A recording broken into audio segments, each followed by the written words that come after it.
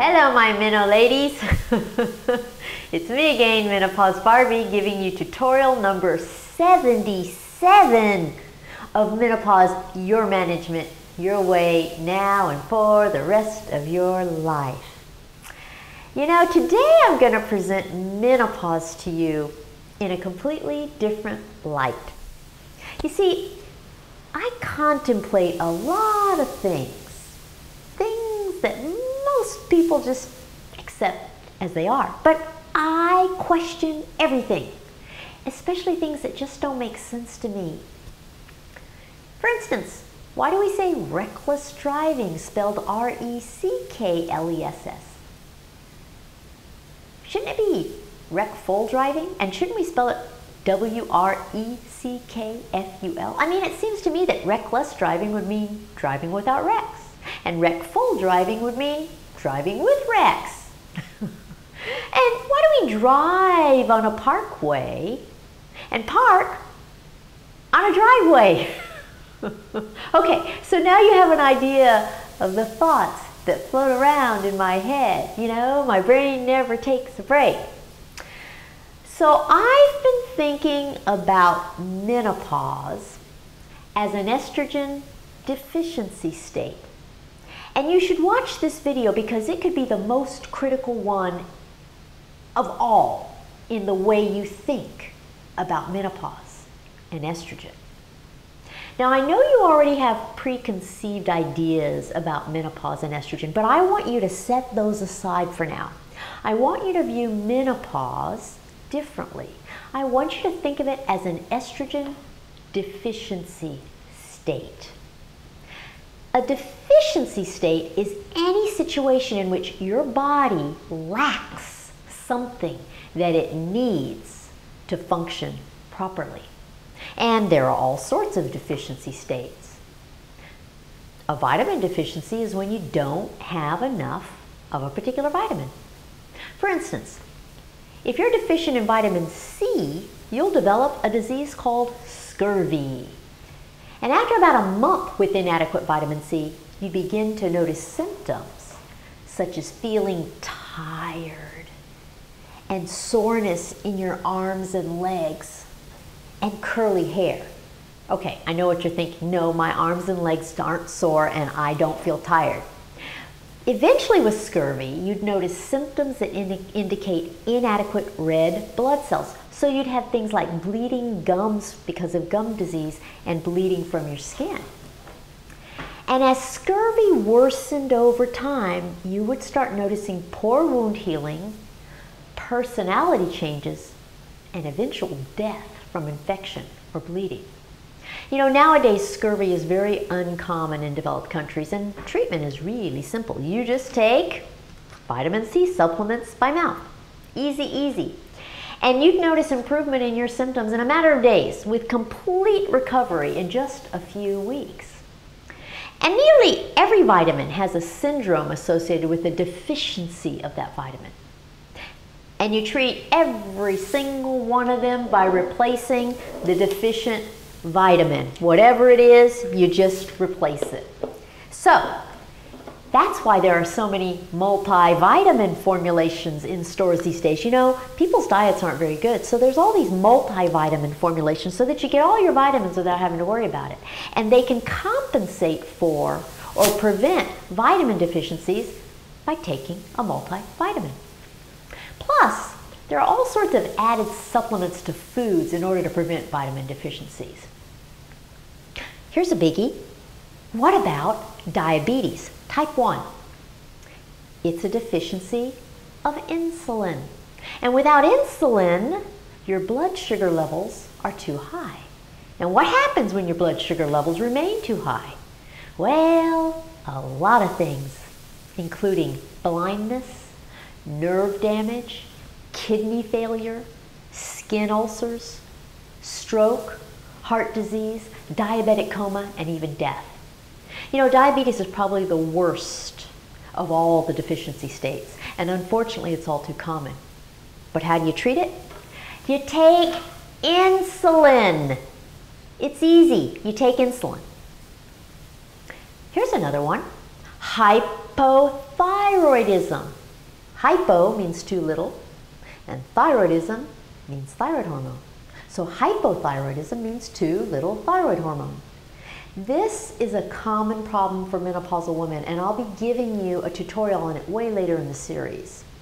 So, what are the symptoms of hypothyroidism? Well, you have inability to tolerate cold temperatures, fatigue, constipation, depression, and weight gain. And once again, treatment is simple. You replace what's missing, thyroid hormone. I happen to have thyroid hypothyroidism, and this is my thyroid hormone. and you know, we even have supplements added to our food so that we never become deficient in all sorts of important nutrients. Have you ever wondered why your salt is iodized? It's so that you never deal with a deficiency in iodine. And do you use a toothpaste with fluoride in it? Most of them have fluoride in them, and the fluoride is added to prevent tooth decay. Just walk through the grocery store and look at how many of the foods are fortified with something.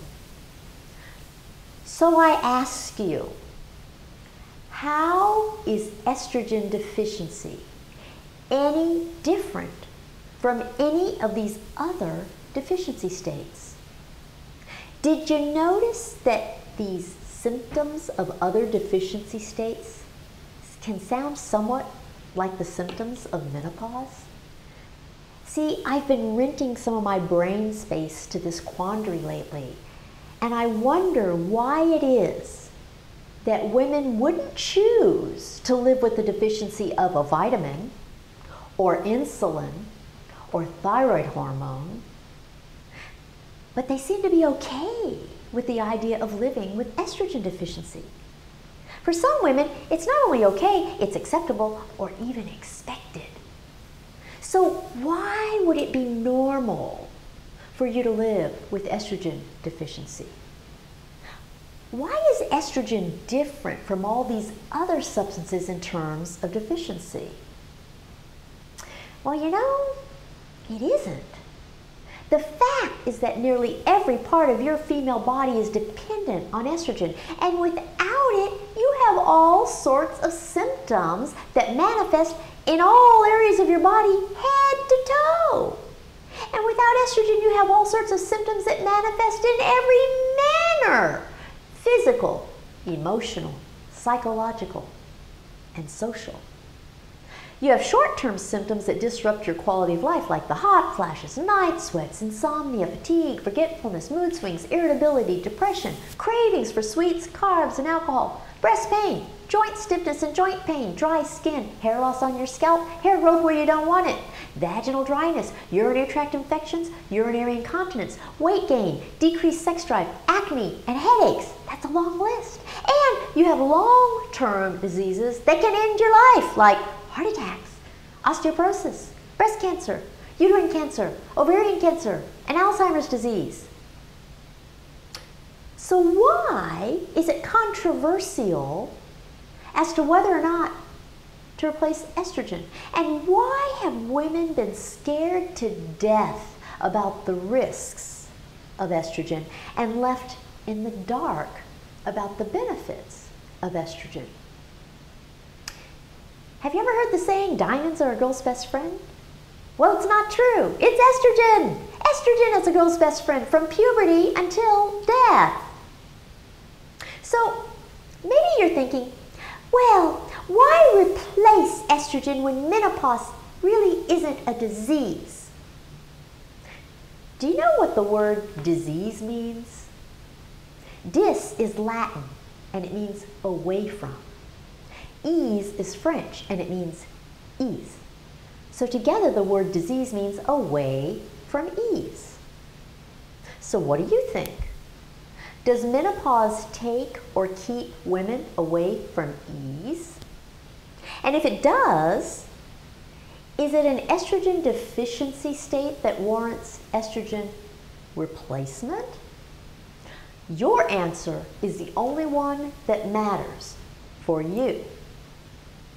So next, you might ask, well, why would Mother Nature make us become estrogen deficient at middle age if she didn't intend for us to live out the rest of our lives in an estrogen deficient state? Isn't it natural to live without estrogen for the second half of our lives? And here's the answer to that. Good old Mother Nature didn't intend for you to live half of your life without estrogen. She intended for you to die at about age 47 before you ever reached menopause.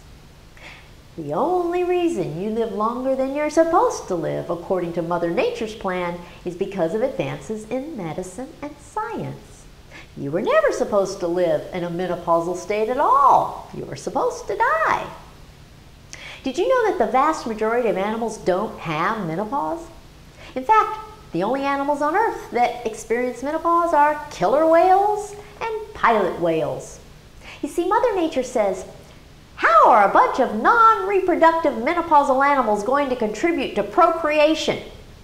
They aren't. So Mother Nature makes sure most animals die as soon as they've finished reproducing.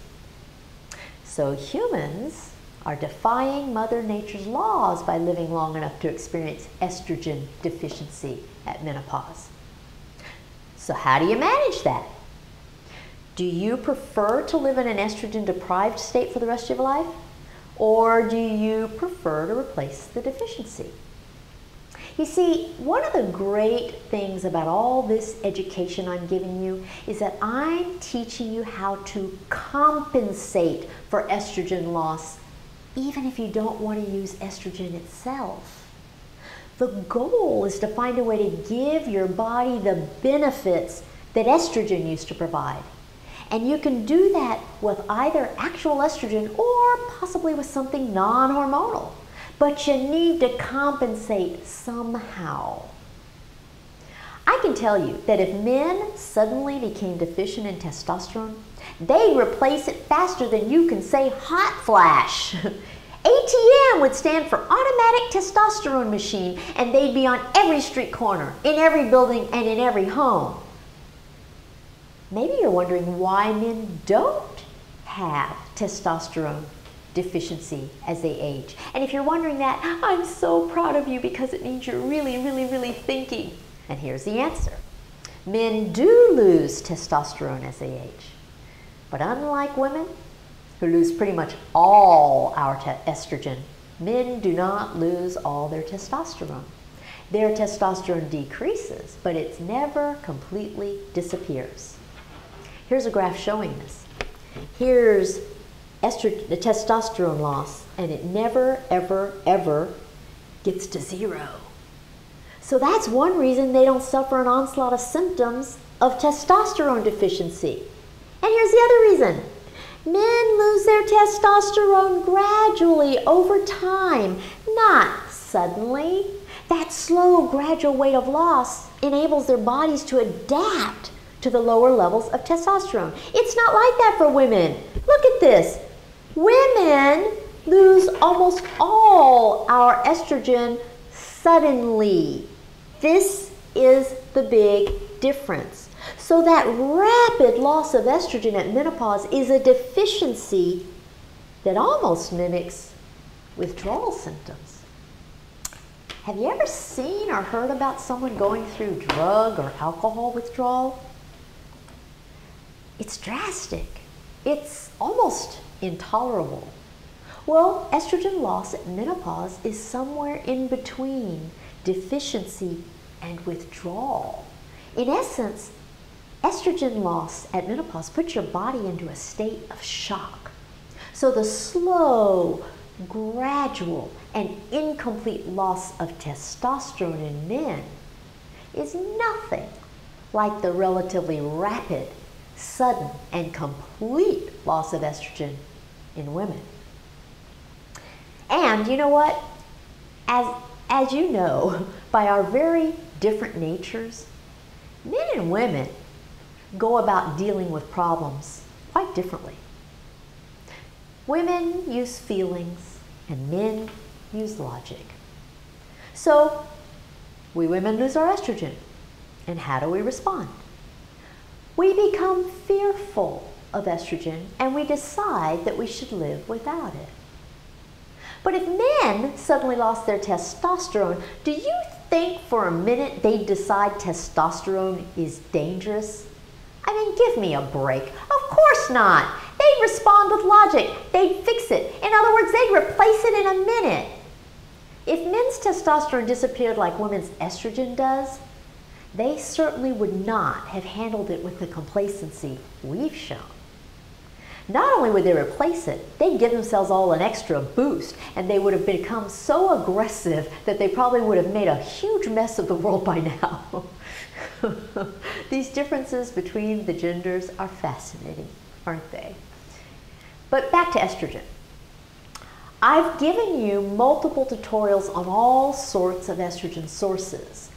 And you've already learned a lot about the symptoms of both excesses and deficiencies of estrogens. And we've talked about the hype and all the scare tactics about estrogen. And soon we're going to go through each and every one of those symptoms of menopause in great detail. And after that, we'll discuss all those disease risks that are affected by how you manage your menopause. And you'll be able to consider this estrogen deficiency quandary from many different perspectives. You see, my goal is to get you thinking rather than acting impulsively to something you heard or read. I want you to know the facts that enable you to answer questions and analyze the answers. As always, all the decisions are your own. I just want to expand your mind a bit and get you to think analytically in the process. The only opinion that matters is your own, and in my book that'll never change, but I want you to have facts with which to make those decisions. So, why do we drive on a parkway and park on a driveway? And I don't want you to drive recklessly on either one. Let all these thoughts linger in your brain for a while, okay? Come back and see me in a week, and until then, follow me on Facebook, Twitter, Instagram. Make comments in the, in the comments of the video, and I will respond to them all. Until then, I'll see you. Bye.